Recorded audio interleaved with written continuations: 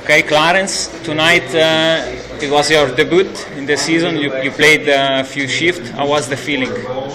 Yeah, it was nice. Uh, long time since I was uh, on the ice in a game situation.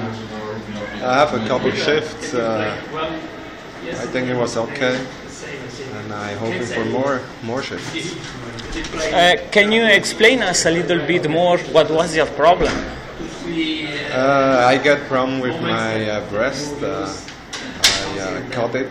Yeah, it take pretty long, but uh, now it's uh, pretty good. Tonight's game, you played good the first half of the match, and then there was a flexion. What happened?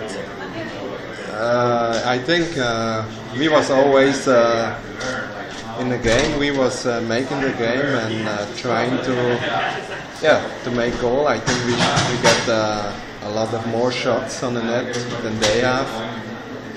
But uh, yeah, at the end uh, we have to score and they score. I don't know, maybe lose a little bit. Uh, I'd probably say uh, the game slipped out of our hands. Yeah, the key was the five minutes uh, power play with only one goal. Yes, uh, in this power play we have uh, some good chance, but they have one uh, breakaway. We was uh, lucky there, good uh, save by Elvis, and then the momentum changed, and they yeah to get the two three chance and the score.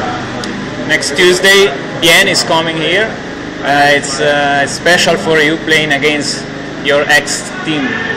Yeah, for sure it's special. It's uh, nice uh, play against my old friends, and uh, yeah, I'm looking forward. Okay, thanks, Clarence. Thank you. Thank you.